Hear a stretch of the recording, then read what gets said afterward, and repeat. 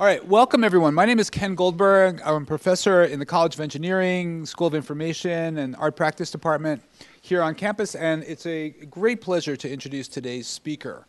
We are, in fact, another thing I would like to um, mention is that uh, we are there's work going on behind the scenes on a new initiative in uh, CITRIS. It's all a bit hush hush right now, so I can't give you all the details, but um, it is relevant to today's talk and you can use your imaginations. They will be announced on the 22nd of April. So please stay tuned. And if you want to find out more information specifically about this, please contact me, goldberg at berkeley.edu. So I want to welcome everyone here, also everyone on the web, um, and from the other campuses. And mention that tomorrow at 1 o'clock in uh, 240 Bechtel, there's going to be a lecture in a new series called Resilience Research Seminars. And this is jointly being organized by ITS, the Institute of Transportation Studies, and TRUST, our research institute on, um, on security. And this is, uh, the talk will be called Machine Learning Under Attack by Eugene Vorobeychik from Vanderbilt. So again, that's uh, tomorrow at 1 p.m. in 240 Bechtel. Also want you to save the date if possible. There's going to be a hack for Congress um, multi-city hackathon to address issues of congressional gridlock. That's going to be on May, March 21st and 22nd. We're co-sponsoring this. It's going to be at a Code for America event in San Francisco, and you can find out more on our website. So for today's speaker is a, a very esteemed colleague who comes to us from UC Davis. Uh, Sturgio, Stavros uh, is um, is an assistant professor of agricultural and auto, uh, agricultural robotics and automation at Davis. He has a background in did his PhD at RPI in robotics. He has a where he studied under a Fulbright fellowship. And then he joined the Department of Biological and Agricultural Engineering at Davis in 2012. He's um, he, after spending time as a faculty member at Aristotle University in Greece. So we're happy to have him back here in the uh, in California, where he's working in a topic that's extremely relevant for for for our state and um, and and for all of us who enjoy eating on occasion. um, so please welcome Stavros. Um, thank you very much, Ken, for the introduction, and thank you for the uh, invitation to come and talk to you. Uh, I'm really delighted. I think the last time I was in Berkeley was in 1994, as I told you. It's been a long time, so I'm really glad to be back. Um, this, this talk today will be, um, I would say, not a very uh, uh, technical talk in the sense that you won't see any equations, although you can ask anything about equations. Uh, it's, it, the, the goal is to you know, present some problems and challenges that we face in agriculture and more specifically in uh, harvesting for agricultural crops, and then also show some of the work that we are doing at Davis to address those uh, problems. So agriculture is, is really trendy these days. I mean, it always was, but now it's even more because of the huge challenges in uh, population increase. Uh, uh, the, the prediction is 9 billion by 2050. Essentially, what that means is that we need to produce much more and get that to the, uh, uh, to the consumer by using less, less inputs. Inputs meaning chemicals, water, soil, energy, you name it. So this is, this is a big challenge, and of course it's a very wide uh, uh topic. My uh, particular interests are in uh, harvesting.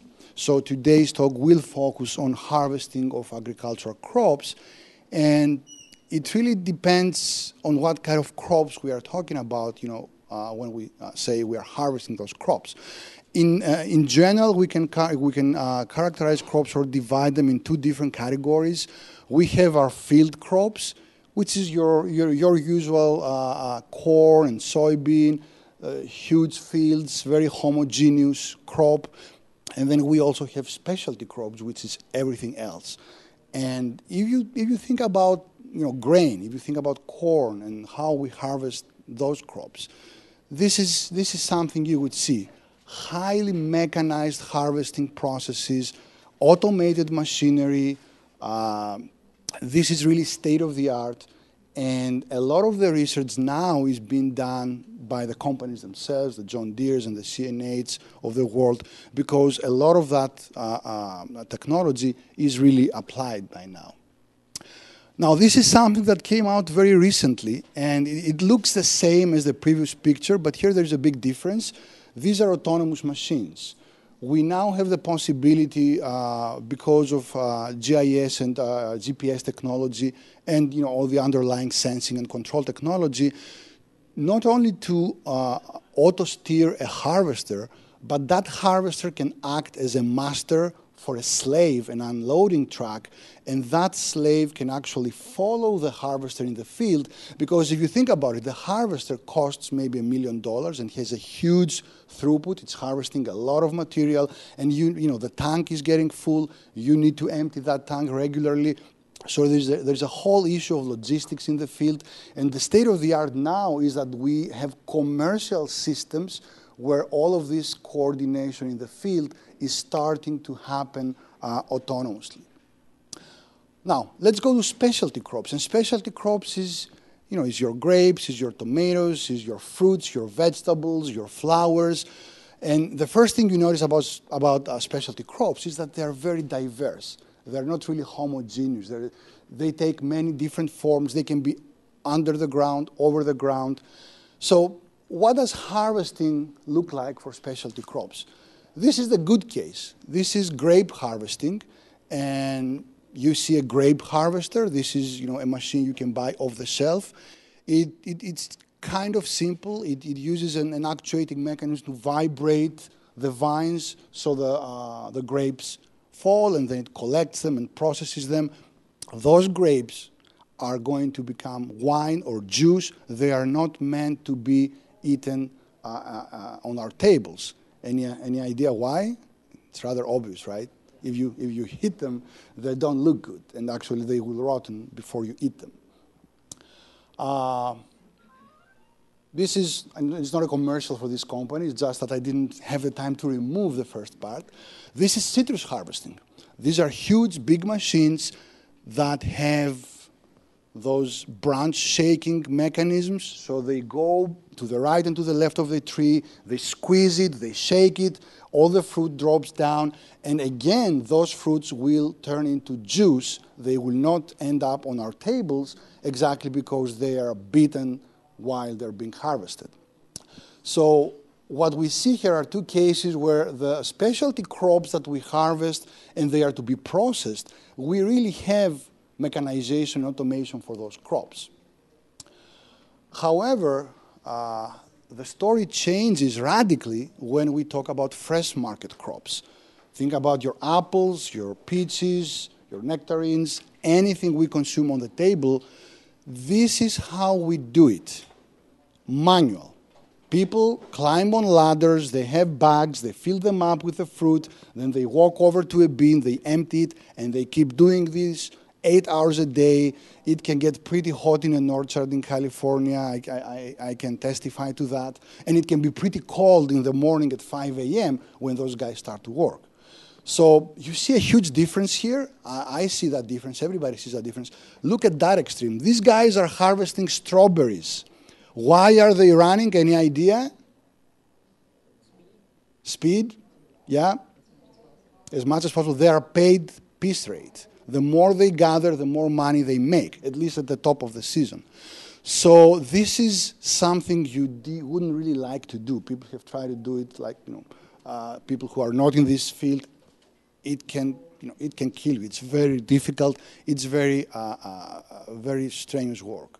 So this is where we are now. This is the state of the art when it comes to uh, specialty crops for the fresh market.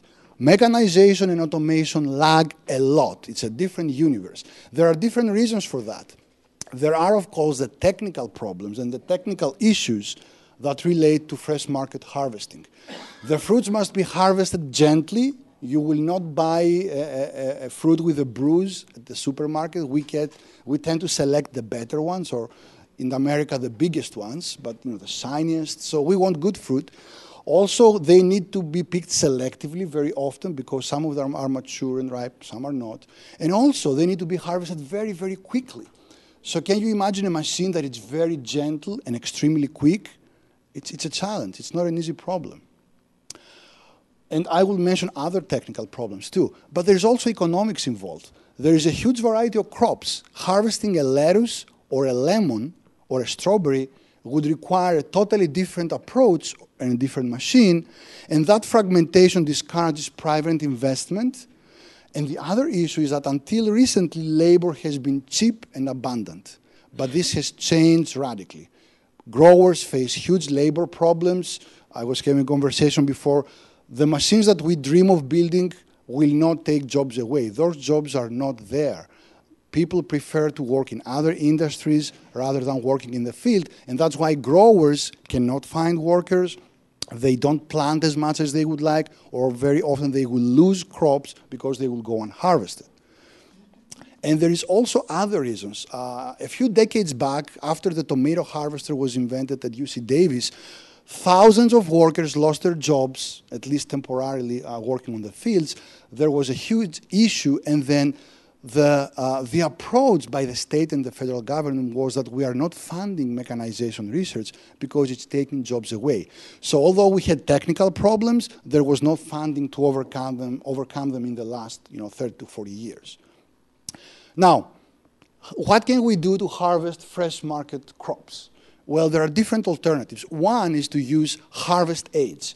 Recognize the, fa the fact that our machines are not good enough to harvest fruit and vegetables, so we will use people, but we'll make it easier on them. We, we will make it faster. We will increase the efficiency. This is an orchard platform. Uh, this is strawberry harvesting. Again, instead of walking back and forth, the workers just deposit their uh, harvested crop on the conveyor, the conveyor moves, so it, it, it helps out with, with efficiency. So this is one approach. It's, it's what I call the intermediate approach to full mechanization. Help the people do the job better. Uh, the holy grail of, of uh, harvesting for fresh market crops is, of course, robots. This is interesting. This is uh, it, it, comes out of a uh, publication from 2012. It's a, uh, a robot built in China. Uh, I will show that again a few slides afterwards, and it, it's meant to harvest apples.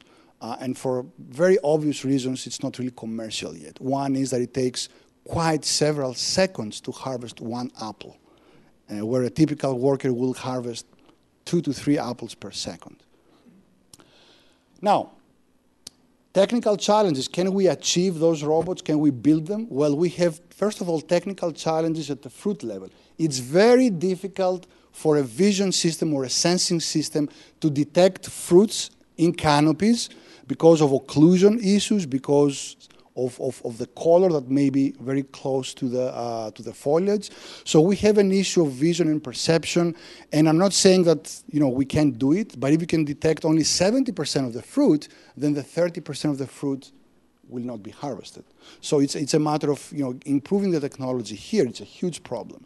The other issue is grasping and actually uh, getting access to the fruit, detaching it, and removing it. That technology is not there yet, at least at the speeds that we, we want. And also, uh, you know, how do you do your visual servoing and navigation, uh, avoiding branches, doing all of that in a natural setting inside a canopy? It's really very difficult. And remember, again, we are talking large speeds. So, uh, but that, that's at the fruit level. We have other issues which are more of design issues. Somehow the machine and the orchard need to be compatible. What that means is that if you have a machine that has certain kinematics, for example, imagine of, of, a, of a robot arm or a hundred of them on a platform, they should be able to reach 100% of the fruits in the canopies, or maybe 98. So it's a problem of you know, how the design of your machine matches the design, the architecture of your orchards. This, this, this problem has not been really studied, but we need to maximize fruit reachability, minimize dead times when we are picking fruits uh, selectively, and also minimize all related times to travel from fruit to fruit, from tree to tree. So all of this is an efficiency issue. And efficiency really depends on the tree training system, on the distribution of the fruits, the layout of the orchard, but it also depends on your machine. So you know, breeders design plants and orchards and, and, growers. We design the machines, but somehow we should work together to get a, a working system. So what you will see is that when we talk about robotics, we refer more to uh, machines that can work in uncertain and unstructured environments. We stress a lot, you know, perception and dexterity. On the other hand, when we talk about automation, you know, in, in, a, in a car factory, for example, we stress high throughput, repeatability, quality, uh, the environment is perfectly structured and known. Well, when we talk about agricultural robotics, we really want both worlds. We want uh, the dexterity and the gentleness of robots and the flexibility of robots and the high throughput of, of, of manufacturing equipment. And that's very challenging. That, of course, needs to come at a relatively low cost. We are not building Teslas, we are harvesting uh, fruits. So, something that we are uh, pursuing in order to, to address these issues is think in terms of automation and manufacturing more than rather in terms of of uh, uh, robotics itself, and and take take the part the, the analogy where your harvester be it a person or a machine, is really like a, a robot that is doing you know, the assembly work, it's doing the, the welding, it's doing the, uh, the major operation. And then at that factory, you will have a material transportation system. It could be conveyors, AGVs, and that material transport system is also necessary and present in the field. So you can think of this analogy harvesting in the field, you have a combine harvester uh, working in a, in a, manufacturing plant, you have your robot, and then in the field you have a transportation system to transport the fruits and the crops, and in the factory you have a similar system to do material transportation. So we would like to exploit this, this type of paradigm and thinking and see how we can improve uh, on, uh, on agricultural robotics and automation for specialty crop harvesting. So I will uh, describe a couple of projects. One is the, uh, we call it FRAIL-Bots. It's, it basically attacks the following issue. When we do manual harvesting, a lot of our time, 20 to 30%, is spent just on walking and delivering the produce. Also, that task is dangerous. You know, the, the soil really is wet, so we can slip. We have ergonomics related problems. What can we do to improve that? And again, following the previous paradigm, you can think of your worker as the machine, the robot doing the intelligent part of the task, and you can think of another machine that could be doing the more you know, uh, mundane or stupid part of the task, which is just, just transporting goods in the field. And this was the idea behind this project that got uh, funded through the National Robotics Initiative. And then, uh, you know, this is just some preliminary, preliminary work that we are doing where we are instrumenting the pickers and trying to model the task that they're doing because a main task, a main challenge with this type of work is that you can use machinery to increase the efficiency of the workers. But if you aim for 100% efficiency, that's not good for them.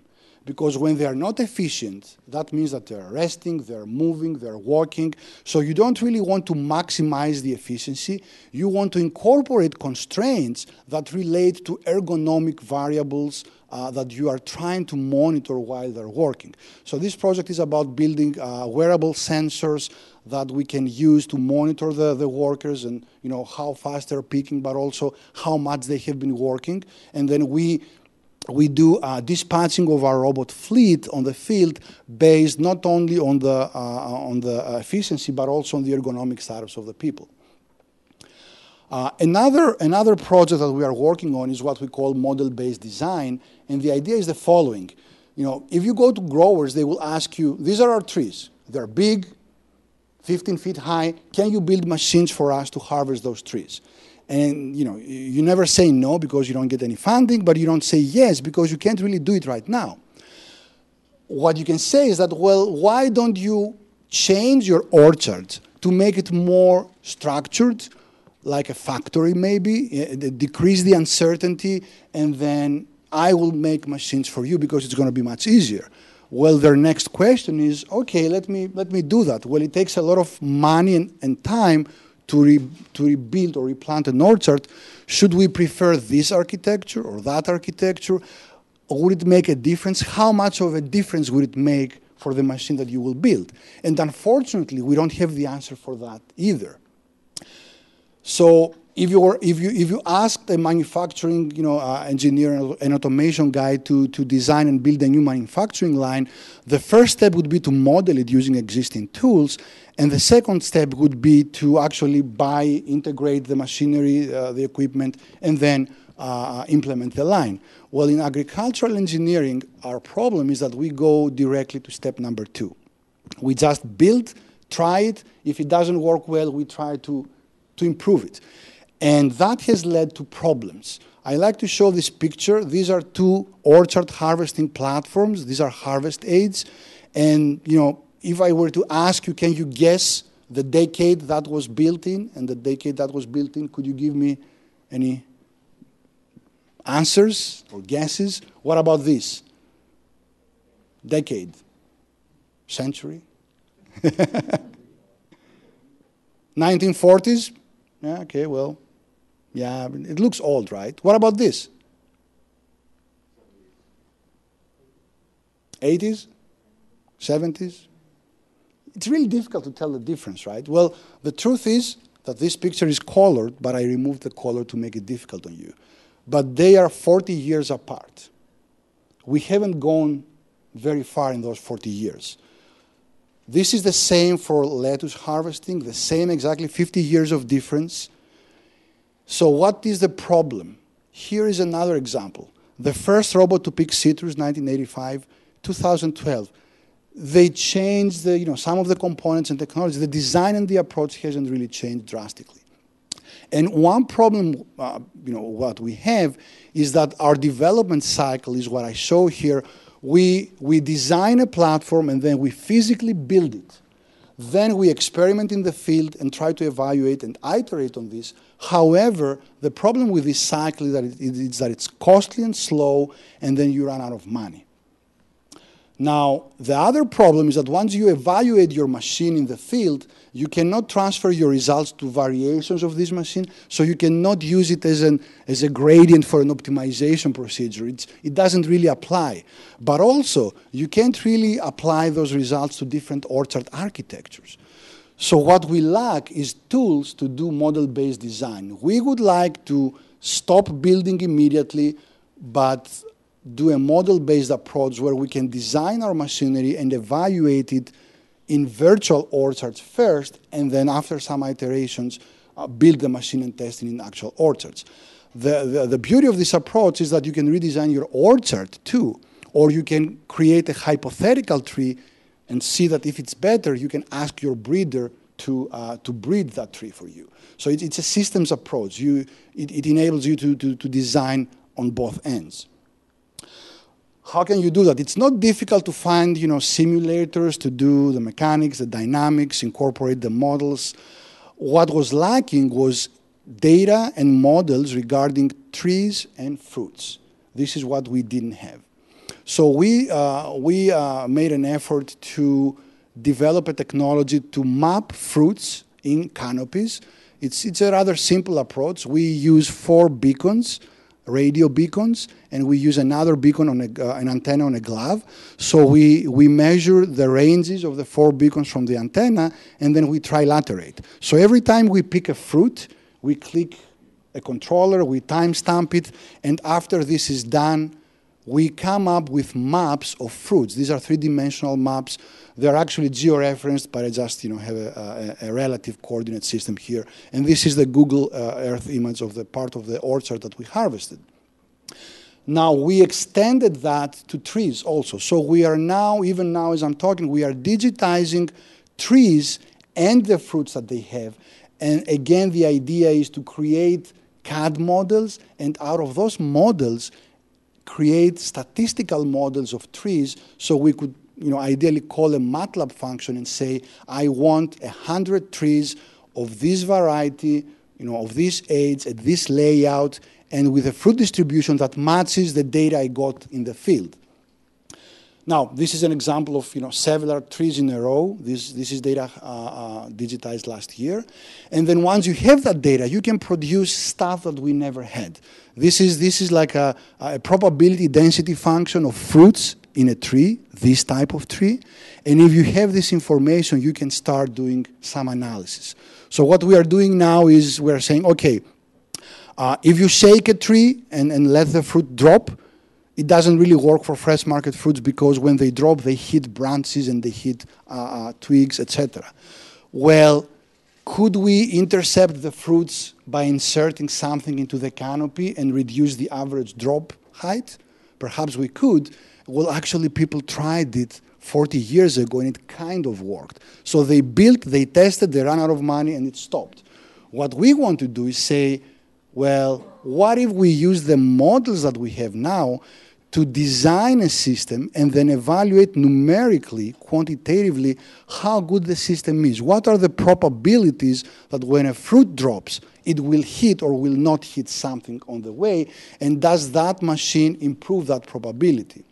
So this is an example where we did some preliminary testing. This is a, a, tree and the fruits, and then we extended cylinders downward and calculated the probability that the fruit on its way down, you know, via gravity, will not hit something.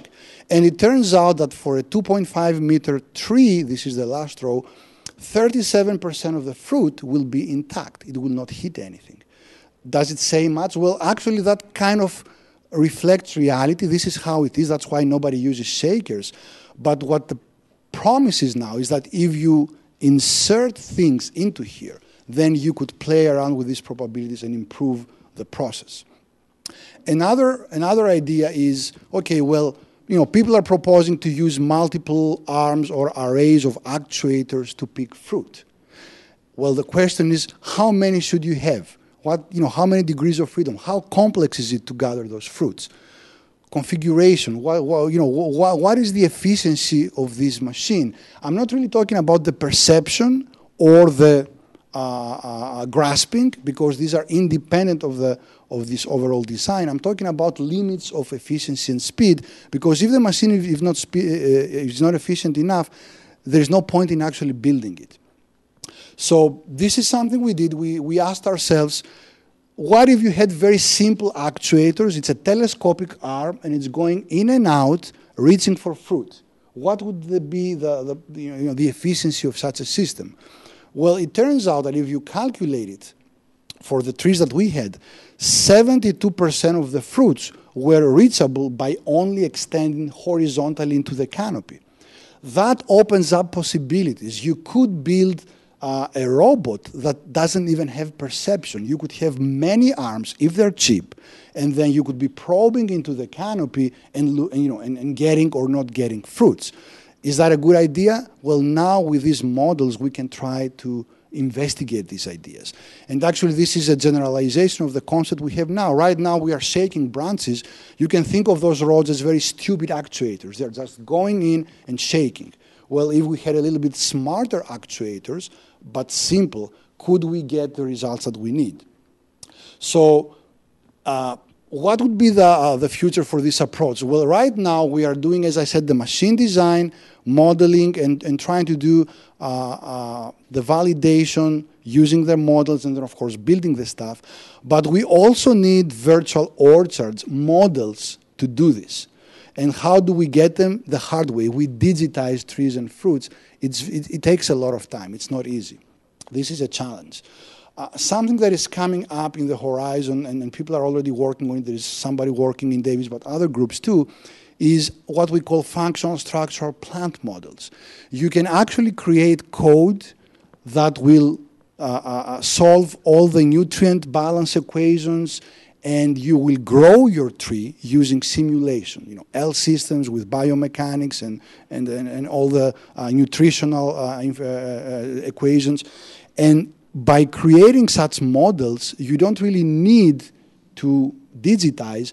If those models are validated, then you could use those to, to do your, uh, your design. Then, of course, a little bit more futuristic is that people are talking about incorporating breeding and genetics into models that grow trees or plants.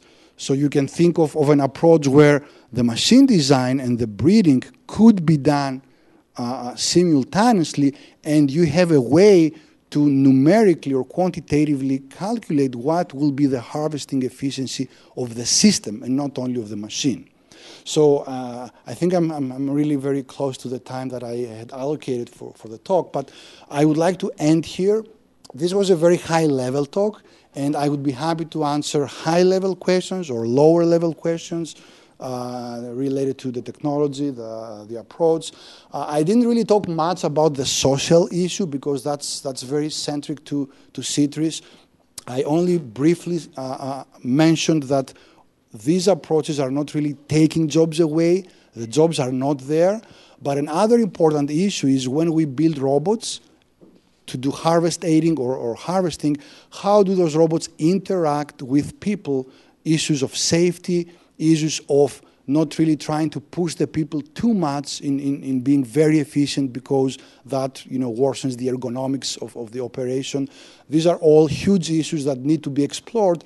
Actually, we are trying to use this approach to do that too. So for example, we are, you know, we would like and you know we're trying to do that model humans, digital models where you can populate uh, an orchard platform with a model of a person and then check whether the control laws of the platform and the kinematics and the design uh, are bad or good for the ergonomics of that person as the person is reaching out for fruit. So we could incorporate up to some degree uh, humans inside this approach uh, to see how the, the machine and the human operate together. With that, I would like to uh, end here. I would like to thank you for your attention, and I would be happy to uh, answer any questions or uh, discuss. If there is no time for a lot of questions, I can answer them, uh, you know, via email or over the phone. I'm, I'm, I'm really happy to, to interact with everybody here and on the other campuses too.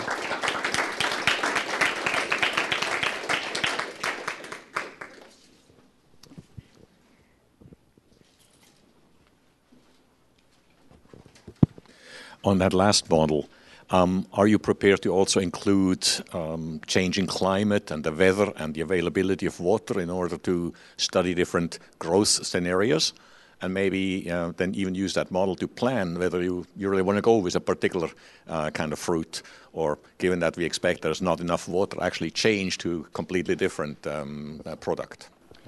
Uh, honestly, this is not part of this agenda, but it, it's an excellent idea because if you can incorporate that, then when we talk about a systems approach, mm-hmm. you can include that because you know the, the inputs due to cultivation, be it water or nutrients, right.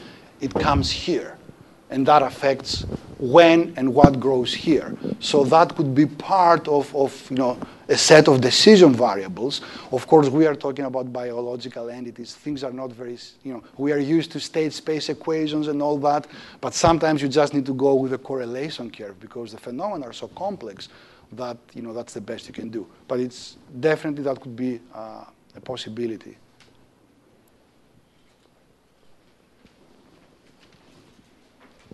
Yeah, just keep thinking. Is this on? Yeah um, about um, the whole monoculture versus polyculture uh, issue. I mean, these are obviously all for monocultures, and there's a lot of talk about if that's the best way for the environment and the, our, our ecolo ecological systems to to be doing. Mm -hmm. Any thought about doing, you know, diverse polyculture type systems? Uh, it's a it's a good and valid comment, and what I would say is that you know this approach is not really restricted to one system or the other. With this approach, you assume that you have your working environment, which is the plants, the layout of the plants, the, the geometrical information of the plants, and you are using that to design a machine. So if you know half of the year that field has something and that half of the year something else, the approach could be applied. Having said that, if you're in an orchard, those trees stay there for a few decades. Also, if you're talking about you know um, um, strawberries or other uh, other uh, crops, then typically those crops will stay there for several years. So that's why I brought the paradigm of manufacturing. This research is, is, is very uh, uh geared towards this intensive type of cultivation where you, you treat your system as a manufacturing environment. I'm not saying that that's the best approach, but I'm not saying also that this cannot be sustainable. Uh, you know, the challenge is how can you produce dramatically more crops with dramatically less input? And this is a challenge for agronomists and for engineers, but not only for those, you know, the, the human factor goes in there too. And the consumer and the workers. Uh, on the design side, are you guys talking at all about using reinforcement learning or evolutionary algorithms uh, in a more computationally intensive way to have, you know, some automated solutions to try out? Yeah, that, that's, that's an excellent idea. Actually, uh, you can think of it as a, as a, huge design space where, where do you start from? Uh, and this is not obviously a convex space. I'm not expecting to start with a set of parameters which may also be continuous and discrete. You know, what is the length of this link, but also how many of those robots should I have, for example. So it's, it's a very complex problem. I mean, ideally, theoretically, you could set up such a problem and let it run and, and see what it comes up with. But honestly, I think that at some point we will need to make some decisions and then iterate on those. Um, I don't know if I'm, I'm answering, you know, completely, but you know, this is this is what I'm thinking right now. Uh, my gut reaction. Thank you, um, Stavros. Thank you. you. This is a really interesting set of questions, and I'm curious if you mentioned the um, the Davis tomato harvesting mm-hmm. system. Can you say more about that and what was the breakthrough that le- led to and how it works? Sure. Yeah, definitely. This is uh, this was a milestone in in, in mechanized uh, harvesting. Uh, up to a point, all you know, tomatoes for ketchup, for example, were harvested manually. So we had thousands and thousands of workers laboring in the fields. Well, uh, there was a, a, team of people at UC Davis and that team included an engineer and a breeder. Uh, they worked together to produce a so-called square tomato. They, they, they came up with a tomato that was thicker, it had thicker skin, and it was also not as spherical, so it didn't roll as much. And then on the engineering side, they produced a system that could, you know, uh, uh go down and then reap the plant and then take up the, the, the, uh, the tomatoes without really destroying them. And, and that system was, um, you know, was introduced, uh, and then it, it took about 10 to 20 years for that system to develop completely. Now they're doing also sorting, etc. So uh, the interesting thing with this story is that first of all, engineers and breeders came together, and that's the only way we can work with these problems. The other, pro- the other issue is that it really stole lots of jobs uh, from people who were laboring in the fields. But what is interesting is that that huge, you know, the, the, the, efficiency increased 10 times. We could harvest 10 times as much crop as before the same amount of time, or, uh, but, also the labor force decreased 10 times initially. But the, uh, the production increased dramatically because people now planted more tomatoes. And that meant that those tomatoes had to be processed in, in, in, manufacturing plants, in you know, sorting processing plants. So the jobs really transferred from the field to those factories, to those processing plants. And overall, and I can, I can uh, provide you with a link that did a study, overall, the number of jobs increased. There was a shift, though, from the field to facilities, to, um, to processing plants. I'm not really advocating or saying that any type of mechanization or automation will eventually provide more jobs. This is really something that would need to be studied. It's a very complex system and phenomenon. But you know, our gut reaction would be, oh, tomato harvester, no more jobs. Well, actually, you know, when you look at it, there were more jobs, just different types of jobs. So this is pretty much the story of the, of the tomato harvester. And hopefully we can do the same for fresh market crops. That would be our dream. So um, I think one of the challenges is you have different crops and they ripen and have to be harvested very rapidly. In a human, maybe one day they can harvest apples and then a week later strawberries, whereas these would have to be very specialized. So how do you deal with that challenge? uh, the machines would need to be very specialized for sure. Uh, I'm not saying that the, you know, if you build a machine to pick apples, it can also pick strawberries or, or even lemons. Uh, but uh, it's, it's a matter of cost. You know, depending on what the cost of the machine is, um, the, the, the grower may adopt it or not. Let me give you an example. Right now, if you buy an orchard platform, it's about $50,000. What you get is increased efficiency.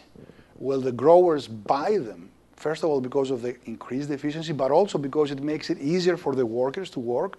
And now growers compete for labor. You know, uh, who is going to get more people to work on their fields?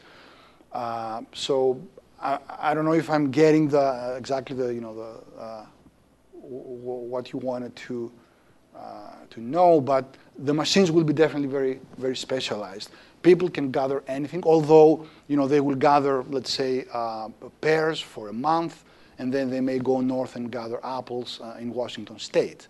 Uh, but also there are cases like strawberry, which is almost an all year round uh, cultivation, where people just harvest strawberries. Yeah. yeah. from Europe, so probably familiar with this standardization of, of the uh, picked crops or, picked fruit, for example, or vegetables. We have to have cucumbers of a certain size, stuff like that. So we were talking efficiency. Um, are you taking into consideration these kind of?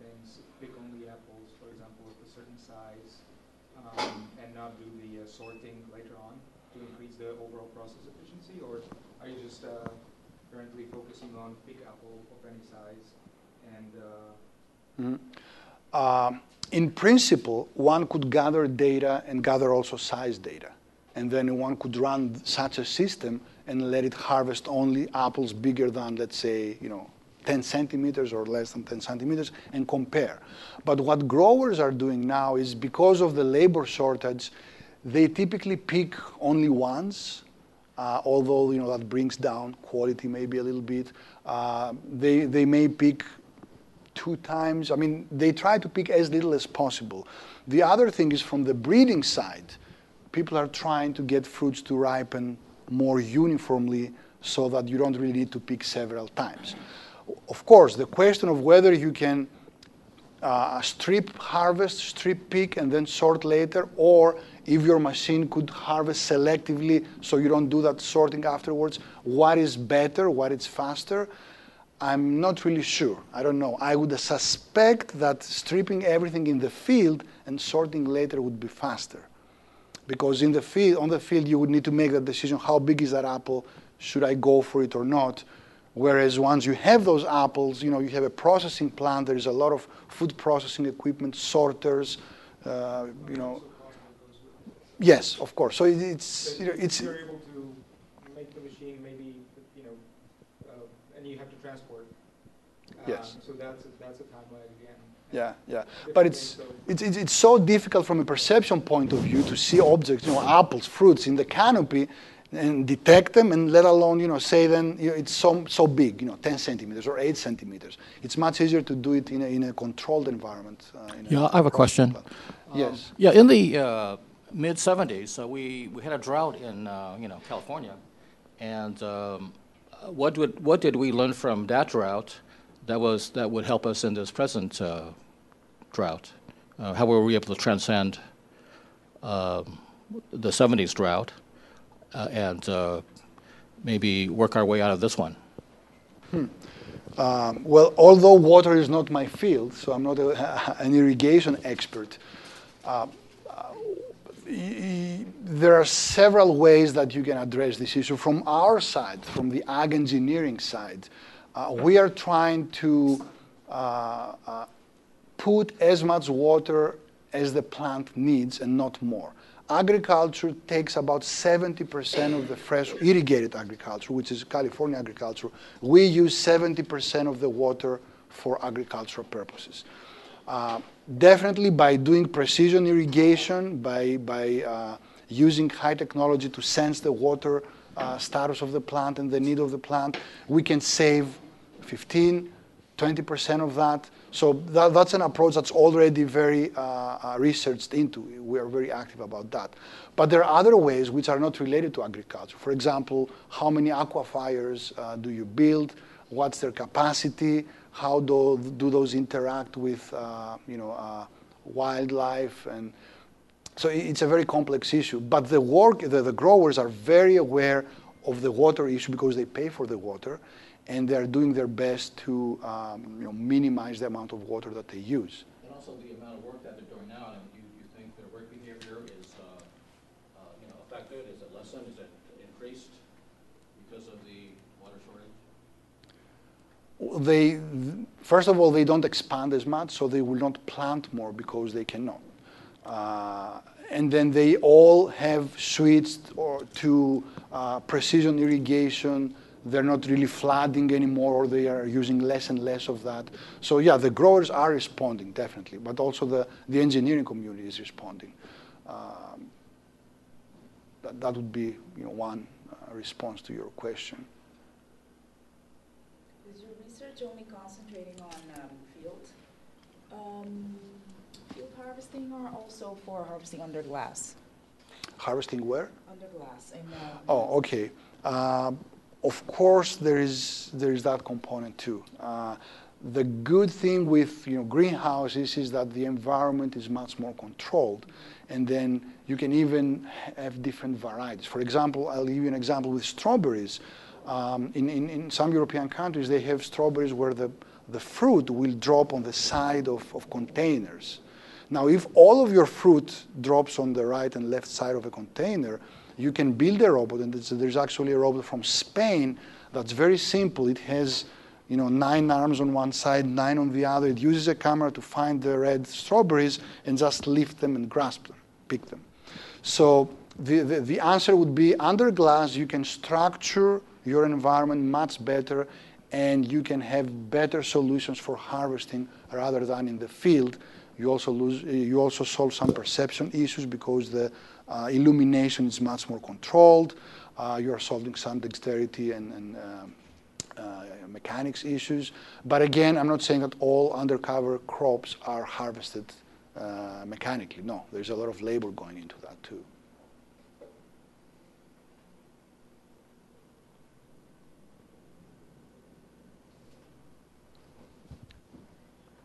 Any more questions. Uh, again, as I said, I, I appreciate the uh, opportunity to be here.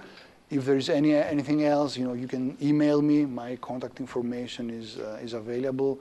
I would be happy to to talk with anybody uh, about this this research. Thanks.